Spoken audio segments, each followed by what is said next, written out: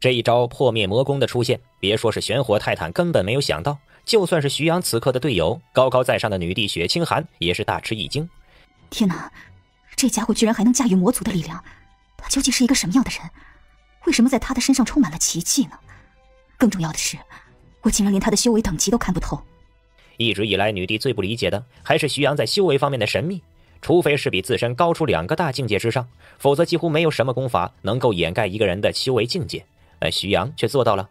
之前的他只是一个炼气境的修士，虽然他的底蕴难以想象，可他炼气境修为的表象还是无法遮掩的。可当他跨出那一步，真正让自己能与道相合后，这种情况再次发生了转变。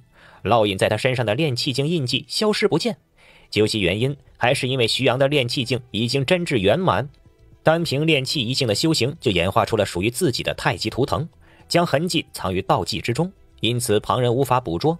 至于眼前他所施展出的破灭神技，那就真的无法用常理来理解了。女帝只能大概猜测，这应该同徐阳拥有永恒这件魔族神器有关。强大的破灭之力，让周围所有的草木生灵的生命力迅速流逝。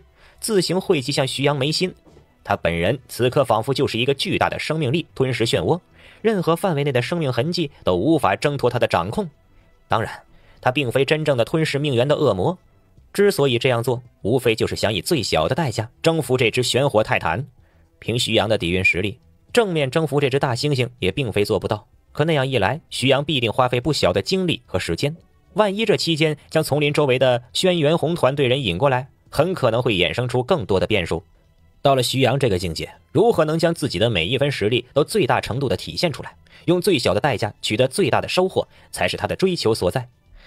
很好，希望你能兑现自己的承诺，否则我不介意随时将破灭之法笼罩整个丛林岛屿。你应该能感受得到，我不是一个喜欢开玩笑的人。徐阳的声音似乎比平时都冷漠了太多。一旦投入到战斗中，这个男人表现出的杀神一般的姿态，让身边的女帝震撼不已。真正的男人就是应该像徐阳这样，既有霸气的一面，又有温柔体贴的一面。玄火泰坦看了自己的子孙族群们一眼，又发出了一声灵魂咆哮，捶了捶自己健硕的胸脯，亦步亦趋地来到徐阳和女帝面前，低下了他独属于十万年灵兽高昂的头颅，自然也放下了尊严。对于高等级、高智慧灵兽来说，用献祭的方式依附于人族修士是一件很不光彩的事情。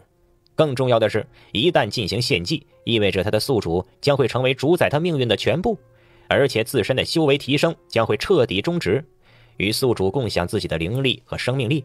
当然，要是像小龙蟒这种碰到徐阳这样机缘和实力双重逆天的主子，将会得到的好处也是难以想象的。说是一步登天、血脉返祖，也绝非不可能。此时的玄火泰坦多少有些心理不平衡，但面对徐阳，他别无选择。听着。我答应你的事绝不是虚言，你乖乖的献祭给女帝，成为她的守护伙伴，我可以让你得到更多的机缘。但若你敢在献祭过程中耍花样，伤害女帝半分，我将让整座岛屿变成一座坟墓。徐阳的话说的相当平静，却是让女帝雪清寒和面前的玄火泰坦灵魂一致，一股无可抗衡的灵魂威压充斥在两人脑海中，是一种说不出的战力感。开始吧。徐阳轻轻一抖手，掌心中多出了一个紫光充盈的圆盘样的法器，悬浮笼罩在女帝头顶。你什么都不用做，放松下来，我亲自为你护法引导。徐阳的话倒是让女帝有点不知所措，从来都是掌控安排别人的命运，根本不习惯旁人庇护的女帝，眼下面对徐阳的时候，却像是一个手足无措的小女孩，只有微红着脸，乖乖听话的样子浮现。轻轻闭上双眼，女帝很快发现自己的灵魂力自然而然地捕捉到头顶这法器的气息，两者勾连一体，一道灵魂力注入其中。女帝发现自己的精神世界内像是开辟出了一个独立空间，殊不知这方寸之地便是寄放灵兽献祭来的灵魂的地方。若是没有徐阳的引导，整个献祭过程也是充满危险的。毕竟玄火泰坦乃是十万年灵兽，自身底蕴就相当可怕，祭献等同于奉献出自己的一半全属性力量和本源。要是自身强度不够，很容易直接撑爆，落得个身死道消的下场。更重要的是，万一这大猩猩不是真心归附，不惜损耗自己一半命源为代价换掉这个威胁自己的强敌，也不失为一种狗急跳墙的搏命手段，更会对自身造成威胁。可有了徐阳这一道手段加持，那效果就截然不同了。就算这泰坦打算搏命一击，在徐阳的庇护下，女帝同样不用担心会出现任何的差错，而结局却是这大猩猩万难承受的。唰的一声爆响，玄火泰坦周身火光四目，本源真火开始更为狂猛的燃烧起来，瞳孔中释放出两道无比纯粹的赤金色光焰，正是他灵魂本源的咆哮。很快，在这熊熊燃烧的烈焰中央，凝聚出一道纯粹的赤金色宝珠，飘到女帝头顶，像是预热一般，徐徐洒下赤金色的光环，梳理沟通着女帝的肉身经脉。而后，随着时间的一点点推移，玄火泰坦向着金丹内加持的本源不断增加，女帝体内凭空凝聚出一道玄火之力，同自己体内另外两股相生相克的本源揉在一起，产生激烈的抗衡。痛苦的感觉逐渐变得明显。额头迅速浮现出一层细密的香汗，女帝分明感受到此时承受的痛苦可比往日修炼时强化了十倍不止。三股何其强横的力量肆意碰撞着，对体内每一处经脉都在进行强有力的冲击。全力催动你的寒月宫，最大程度凝聚出冰寒之力与玄火之力抗衡。不要顾及经脉的强度，我会帮你守住底线。女帝紧锁眉头，有些混沌的精神力听到徐阳的声音后立刻照做，但痛苦只在不断的增加。她甚至感觉自己已经到了崩溃的边缘。要是换做别人，女帝就算不要这份机缘，也绝不可能任凭自己在外人面前这般冒险。可不知为何，当着徐阳的面，素来稳重谨慎的女帝却是这样义无反顾地听凭他的话，为自己做出每一个不可思议的选择。徐阳一指探出，强大的灵力本源化为第四道力量，一并涌入女帝的经脉之中。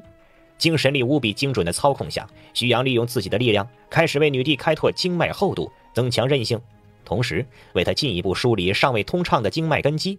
殊不知这样做对女帝的承受力和未来修炼的速度都会有难以想象的提升作用。说白一点，等同于帮助她脱胎换骨，重塑一次根基。随着玄火之力的不断加持，女帝体内那自行修炼的那一股并不纯粹的阳属性本源正在被迅速炼化，而寒月宫提供的冰寒本源也逐渐同这玄火之力分庭抗礼，并驾齐驱。很好。你体内的第三股力量已经完全消失了，现在我来帮你炼化碧水晶经兽的内丹，让这股中和性很强的本源帮助你完成最后一步冰火交融的过程。只有这样，这两股力量才能在你体内完美契合，今后也将不会再受到寒力的侵扰。女帝此刻虽然不能开口说话，但听到徐阳的指引，她一下子变得兴奋起来。倘若真的能将自己多年来的体脉隐疾彻底清除，绝对是帮她解决了一大心病。在女帝完全承受住玄火之力的淬炼后，大猩猩开始释放自己的生命本源以及最为纯粹的灵魂力。这两股力量比起刚刚的玄火之力可要柔和得多，更像是对女帝肉身的滋养和补充，而不是那种灼热霸道的抗衡性波动。整个献祭过程持续了足足两个多时辰。女帝虽然承受了不小的痛苦，但她却是无时无刻不在提升。倒是徐阳为她消耗了大量的精力，为防止出现变故，一点都不敢怠慢。老猩猩甚至相信，只要他敢打一点歪主意，徐阳绝对会瞬间让他形神俱灭。伴随着最后一声冲天巨响结束，一道完整的血色光环从玄火泰坦体内打出，融进了女帝的灵魂空间。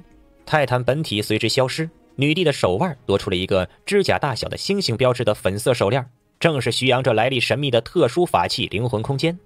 也不知过了多久，女帝缓缓睁开双眼，周围的一切仿佛变得不一样了，空气越发变得清澈。冥冥之中，自己的身体仿佛具有了自动吸附灵力的本能，就算是在睡觉，也可以吞噬灵力，自主修炼。更重要的是，雪清寒发现自己的视野变得格外通透，这是修为突破的最直观迹象。我，我突破了，感受到体内如同百川归海一般的通畅，强大的灵力洪流有条不紊地冲刷着经脉，再没有任何冰寒和火热的隐藏存在。女帝激动的说不出话来。这一刻，他心中涌出感激之情，让他本能的想要给徐阳一个深情的拥抱。可环顾周围，却并未第一时间看到徐阳的身影。徐阳，你在哪儿？强大的精神力立刻铺展向周围，在搜寻了半天毫无结果后，女帝本能的有些慌了神。她自己或许都没想到，那种怅然若失的感觉是那样的分明。第一次为了一个男人情不自禁的失落而彷徨。你醒了。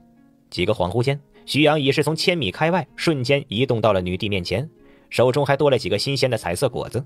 看到这人的轮廓，女帝眼神愣在原地，就这样直勾勾地盯着徐阳，心里才重新被那种安逸和踏实的感觉再次填满。哦，这是顶级品质的百灵果，吃下去能巩固你的。话还没有说完，女帝一个深情的拥抱，死死地勾住徐阳，让这修行了十万年、心性如铁一般的男人也忍不住恍惚了片刻。谢谢你，徐阳。这一刻，女帝闭上眼睛，平静的呼吸来自徐阳身上的温度，她感受到了从未有过的安逸和满足，也第一次尝到了来自异性带给自己说不出的幸福感，哪怕仅仅只是一个拥抱，也让她空虚太多年的内心得到了前所未有的滋养和温润。哦，举手之劳，你我现在是队友，相互扶持是应该的，我可不想带一个拖油瓶在身上。徐阳掂了掂手中的果子，轻笑着打趣。女帝这才注意到自己手腕上隐隐传出的温和气息。那，你现在试着用精神力触碰着手环。徐阳引导女帝驾驭着法器，随着一股魂念融入，女帝赫然发现脑海中玄火泰坦的气息是这样浓郁而醒目，似乎她的身体、她的一切都随着自己魂念的碰触融为一体。出现，一个召唤师样的念头闪出，玄火泰坦化作一道赤金色光芒，自女帝身后幻化而出。主人，请吩咐。泰坦这大猩猩毕恭毕敬的样子，让徐阳看着呀都觉得有几分滑稽。呵，你这老猩猩乖巧起来还是挺萌的。泰坦显然对徐阳没什么好感，但又不敢忤逆女帝，狠狠地白了徐阳一眼，不再作声。不管怎么说，谢谢你的帮助。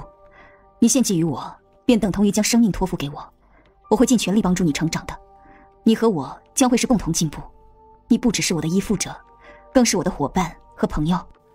泰坦似乎没想到。看着高冷的女帝会说出这样一番话，事实上连徐阳都没想到，外冷内热的性子也算给了徐阳一个惊喜。事实证明，再怎么高冷霸气，女帝终究也是一个女孩子，需要情感上的关爱。高处不胜寒那种滋味，徐阳再清楚不过了。